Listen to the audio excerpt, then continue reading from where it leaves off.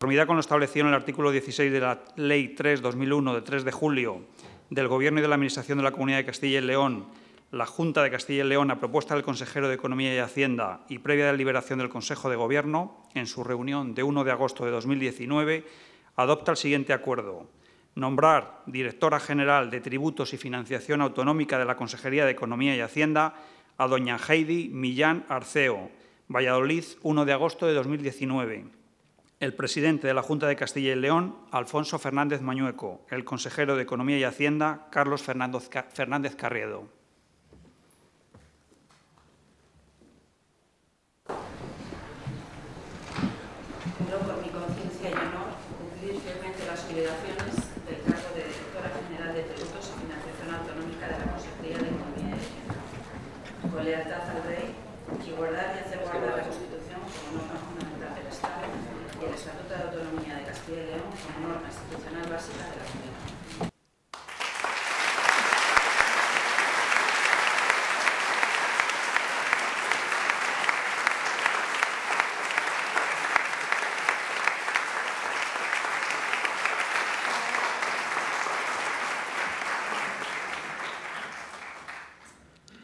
Acuerdo 112-2019 de 1 de agosto de la Junta de Castilla y León por el que se nombra directora general de Política Económica y Competitividad de la Consejería de Economía y Hacienda a doña Rosa, Rosa Cuesta Cobreces, de conformidad con lo establecido en el artículo 16 de la Ley 3-2001 de 3 de julio del Gobierno y de la Administración de la Comunidad de Castilla y León, la Junta de Castilla y León, a propuesta del consejero de Economía y Hacienda y previa deliberación del Consejo de Gobierno en su reunión de 1 de agosto de 2019, adopta el siguiente acuerdo.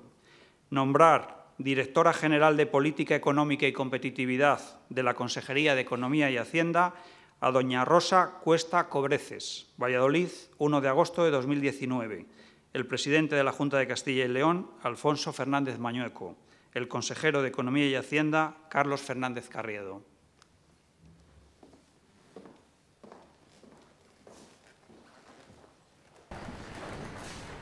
Juro por mi conciencia y honor cumplir fielmente las obligaciones del cargo de Directora General de Política Económica y Competitividad de la Consejería de Economía y Hacienda con lealtad al Rey y guardar y hacer guardar la Constitución como norma fundamental del Estado y el Estatuto de Autonomía de Castilla y León como norma institucional básica de la comunidad.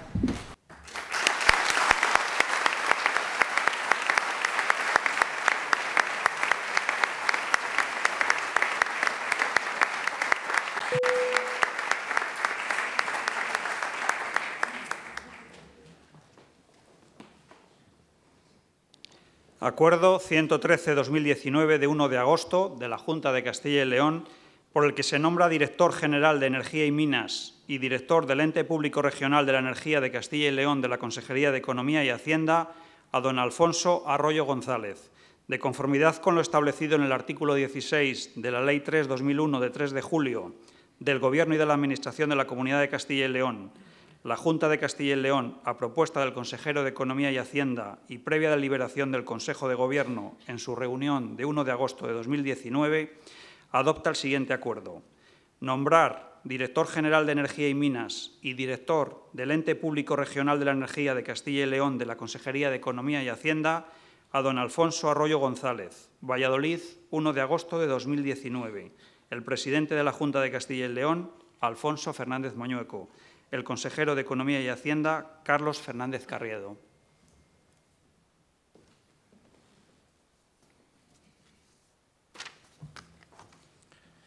Juro cumplir fielmente las obligaciones del cargo de Director General de Energía y Minas y del cargo de Director del Ente Público Regional de la Energía de Castilla y León de la Consejería de Economía y Hacienda,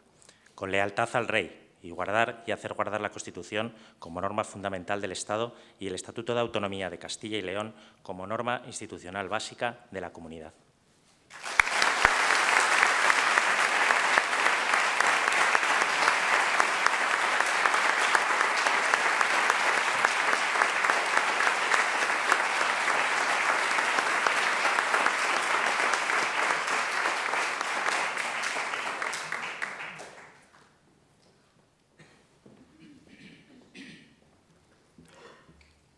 Acuerdo 114-2019 de 1 de agosto de la Junta de Castilla y León, por el que se nombra directora general del Instituto para la Competitividad Empresarial de Castilla y León de la Consejería de Economía y Hacienda a doña Susana García Dacal. De conformidad con lo establecido en el artículo 16 de la Ley 3-2001 de 3 de julio del Gobierno y de la Administración de la Comunidad de Castilla y León, la Junta de Castilla y León, a propuesta del consejero de Economía y Hacienda y previa deliberación del Consejo de Gobierno en su reunión de 1 de agosto de 2019, adopta el siguiente acuerdo. Nombrar directora general del Instituto para la Competitividad Empresarial de Castilla y León de la Consejería de Economía y Hacienda a doña Susana García Dacal. Valladolid, 1 de agosto de 2019. El presidente de la Junta de Castilla y León, Alfonso Fernández Mañueco. El consejero de Economía y Hacienda, Carlos Fernández Carriedo.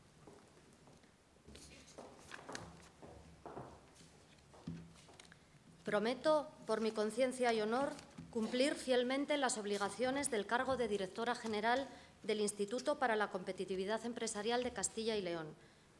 de la Consejería de Economía y Hacienda, con lealtad al Rey y guardar y hacer guardar la Constitución como norma fundamental del Estado y el Estatuto de Autonomía de Castilla y León como norma institucional básica de la comunidad.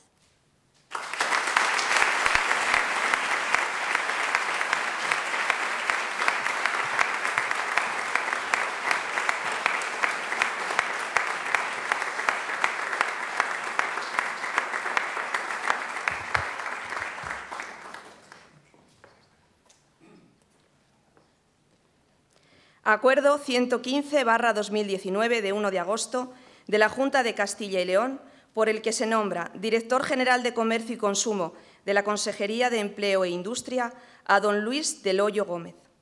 De conformidad con lo establecido en el artículo 16L de la Ley 3-2001 de 3 de julio del Gobierno y de la Administración de la Comunidad de Castilla y León,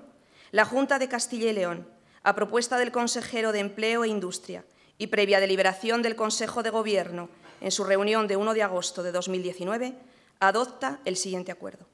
Nombrar director general de Comercio y Consumo de la Consejería de Empleo e Industria a don Luis del Hoyo Gómez. Valladolid, 1 de agosto de 2019. El presidente de la Junta de Castilla y León, Alfonso Fernández Mañueco. El consejero de Empleo e Industria, Germán Barrios García. Juro, por mi conciencia y honor, cumplir fielmente las obligaciones del cargo de Director General de Comercio y Consumo de la, de la Consejería de Empleo e Industria, con lealtad al Rey y guardar y hacer guardar la Constitución como norma fundamental del Estado y el Estatuto de Autonomía de Castilla y León como norma institucional básica de la comunidad.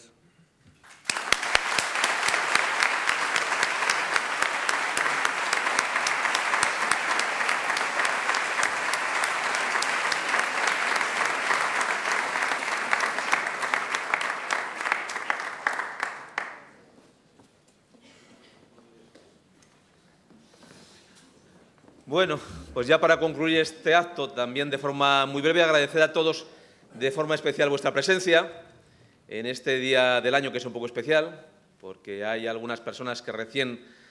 habéis acabado vuestras vacaciones o parte de ellas y otras que estáis justo a punto este fin de semana de iniciarlas. Yo creo que es casi el único del año donde la gente que está más morena tiene envidia a la que está más blanca. Y porque veo aquí gente que algunos estáis muy morenos y otros estáis más blancos. A todos ellos, de verdad que espero que hayáis aprovechado estos días y los que lo vais a aprovechar, que lo aprovechéis de verdad. Este es un derecho que es una conquista laboral básica de los empleados, bien lo sabe el consejero de Empleo e Industria, y por tanto eh, es además una necesidad desde el punto de vista de coger fuerzas, de cargar pilas y de volver aquí con nuevas energías para lo que viene de carácter inmediato, que va a ser muy relevante. Comienza o ha comenzado ya una legislatura. Tenemos un fin de año relevante desde todos los objetivos en el ámbito de la Hacienda. Es muy significativo todo lo que tiene que ver con el segundo semestre del año y, por tanto, es muy bueno que vengamos todos con muchas ganas y con muchas energías. Yo creo que los nuevos directores van a estar estos próximos días aquí, al menos eh, pues, pues, pues, eh, estando con vosotros, reuniéndose, tomando eh, consideración de la mayor parte de los asuntos, pero también que aprovechen ellos para cargar un poco de pilas, porque si no el año, la verdad es que se hace muy duro. Quiero agradecer a las personas que hasta el momento actual han ejercido esta responsabilidad. Me estoy refiriendo a Agustín Manzano, me estoy refiriendo a José María Ribot y, naturalmente, también en el ámbito del que estamos hablando, Heidi renuncia o deja sus responsabilidades en el ámbito de industria y competitividad para, pasar a estas nuevas eh, responsabilidades. Y, por tanto, de verdad que a todos ellos muchas gracias, igual que también en el ámbito de energía y minas y listo eh, de la energía de Castilla y León, a Ricardo González Mantero por el trabajo desempeñado estos años. Yo creo que todos ellos podemos decir alto y claro que dejan sus responsabilidades mucho mejor de lo que lo encontraron en su momento y que dejan las cosas, por tanto, más fáciles a todos aquellos que asumen hoy sus responsabilidades y, por tanto, hay una parte de agradecimiento hacia ellos. Es un agradecimiento desde las personas que asumen esta responsabilidad, pero yo en nombre de todos los ciudadanos y toda la sociedad de Castilla y León, por el tiempo que han dedicado a esta responsabilidad, y por dejar las cosas, como les digo, en muchas mejores condiciones de las que las encuentran, de lo cual, sin duda, pues tienen que estar especialmente reconocidos y agradecidos a aquellas personas que hoy toman el testigo. Y a partir de ahí también somos conscientes de que hay retos y desafíos por delante, que el mundo no, cabe, no, no acaba aquí y que lo hay en las responsabilidades que se acaban de recién asumir. En el ámbito de tributos y financiación autonómica es muy evidente.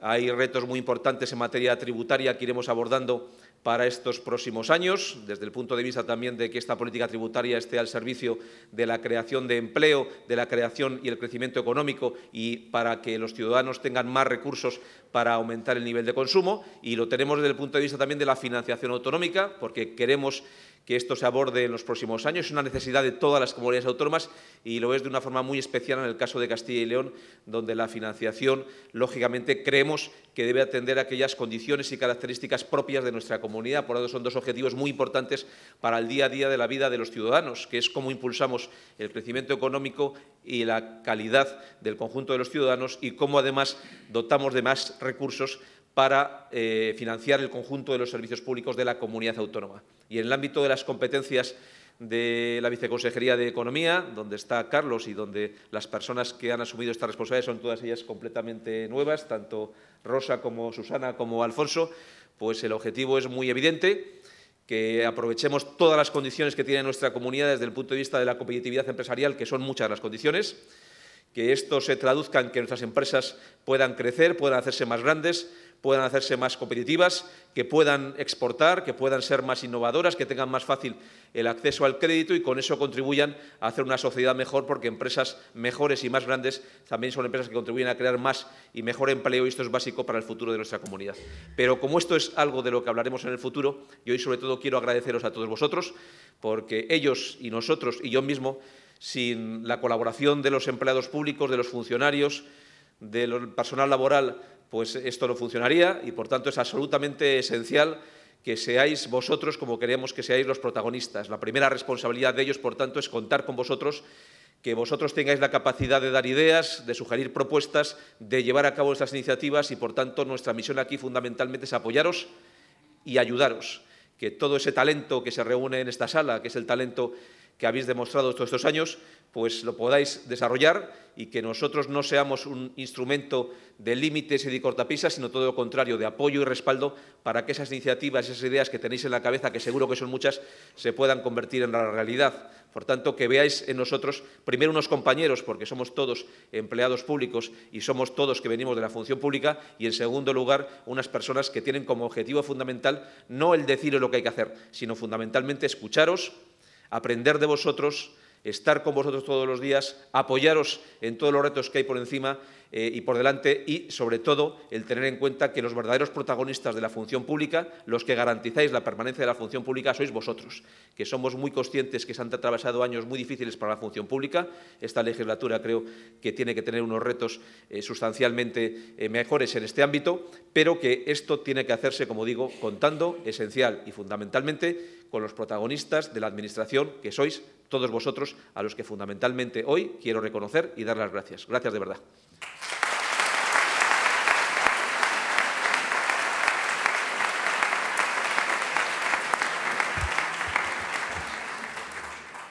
Buenos días. a todos. Yo quiero empezar por donde terminaba Carlos. Lo primero, agradeceros vuestra presencia, agradeceros vuestro trabajo. Nosotros vamos a dirigir los equipos, pero los que tenéis el conocimiento y el saber hacer sois vosotros.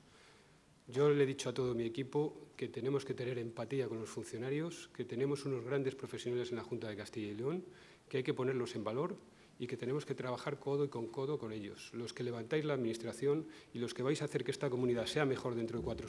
dentro de cuatro años, realmente sois vosotros. Por eso mi agradecimiento a lo que habéis hecho y a lo que vais a hacer a partir de ahora. Bueno, tenemos una tarea, voy a ser más breve que el otro día. ¿eh? tenemos una tarea importante. Hoy salían datos de paro. Tenemos 132.000 personas que necesitan nuestro esfuerzo y nuestro trabajo, el vuestro y los equipos de, las consejerías de las distintas, de, bueno, de toda la Junta, de, todo el Gobierno, de todo el Gobierno de Castilla y León. 132.000 personas que necesitan tener una oportunidad de trabajo, que necesitan una expectativa, que necesitan muchas veces cualificarse y que además nosotros lo que hacemos es un servicio público, en todos los servicios públicos esenciales, pero también en el empleo. Es un servicio público universal y gratuita, y gratuito. Y esto quiere decir que tenemos que insertar a los más débiles, a los más vulnerables, a las personas que tienen poca cualificación, que tienen poca formación, que son parados de larga duración. Se nos dice que intermediamos poco, pero nosotros no somos una agencia de colocación privada que tiene que buscar al mejor candidato para la empresa. Eso vamos a trabajarlo y vamos a hacerlo con ellos. Nosotros tenemos que intentar que esas personas que casi están en la política social porque han dejado la política activa de empleo, vuelvan a la política activa de empleo y a través de su cualificación y formación, buscarles una empleabilidad y un puesto de trabajo. Vamos a, hacer, prospección del mercado laboral, vamos a hacer prospección en las empresas, vamos a intentar que el liderazgo industrial de esta, de esta comunidad tenga el peso que se ha pedido en el objetivo 2020 del 20%, sobre los sectores productivos, vamos a intentar que el sector servicios tenga un sector eh, con valor añadido y vamos a intentar que el sector el sector de comercio, hoy eh, quiero felicitar a Luis Del Hoyo como nuevo director general, que es una persona que conoce las debilidades del sector y las fortalezas, y quién mejor que un, profesional del comercio para impulsar esas fortalezas conociendo las debilidades que hay. Bueno, vamos a impulsar la economía en general, lo vamos a hacer de la mano de la Consejería de, Economía y Hacienda, la, Consejería de, de, Industria y Empleo, o de Empleo e Industria, van a trabajar codo con codo a través eh, del viceconsejero de competitividad, del director general de industria, de, los nuevos cargos que tenemos, a los que quiero felicitar, a Susana, a Rosa, a Heidi, que quiero agradecer el trabajo, me vais a perdonar, de Heidi, el excelente trabajo que ha hecho en la dirección de industria, pero vuelve eh, a sus orígenes. Es una hacendista y vuelve a Hacienda. ¿no? Eh, lo hacía muy bien y lo va a hacer mejor todavía ahora. Eh, por supuesto, Alfonso y, a Rosa, Rosa, una vieja conocida, una vieja amiga con la que hemos trabajado mucho tiempo. Creo que tenemos entre las dos consejerías un excelente equipo y un equipo para que las cosas mejoren con vuestra ayuda, que es fundamental, que sois los que tenéis el conocimiento y los que podéis hacer que esto cambie y que cambie para que haya un verdadero bienestar social para los ciudadanos de Castilla y León. Como decía, iba a ser un poquito más breve. Muchas gracias. Y como decía el otro día, nos toca una tarea ardua y difícil, pero tenemos ganas y vamos a empezar a trabajar. Muchísimas gracias.